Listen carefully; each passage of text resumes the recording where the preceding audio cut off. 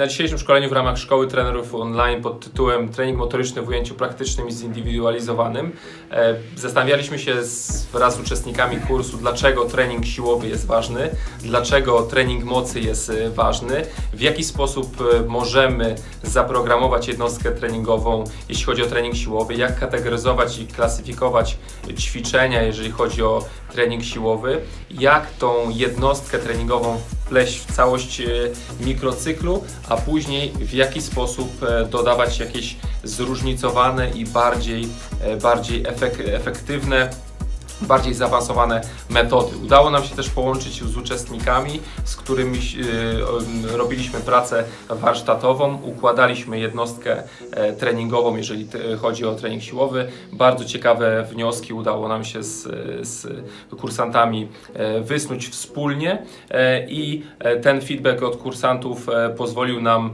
stwierdzić, że ten, ten, ten trening siłowy i ta pierwsza część dotycząca programowania tego treningu siłowego w takim prostym ujęciu, e, jak najbardziej była odpowiednio przeprowadzona.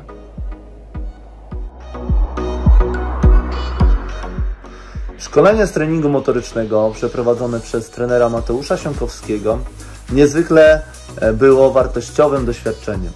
Podczas prezentacji w sposób bardzo przystępny, zrozumiały wyjaśnił on złożone zagadnienia związane z motoryką oraz zasady prowadzenia skutecznych treningów. Cześć, z tej strony Radek. Parę słów ode mnie na temat kursu prowadzonego przez Mateusza Siąkowskiego pod patronatem Extra Trener. Chciałbym serdecznie podziękować za ten kurs.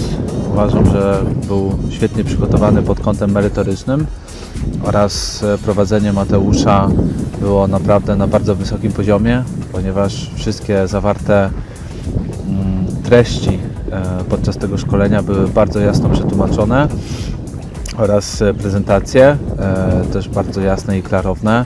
Na pewno te materiały przydadzą się w mojej pracy, e, będą służyły jako ściągawka.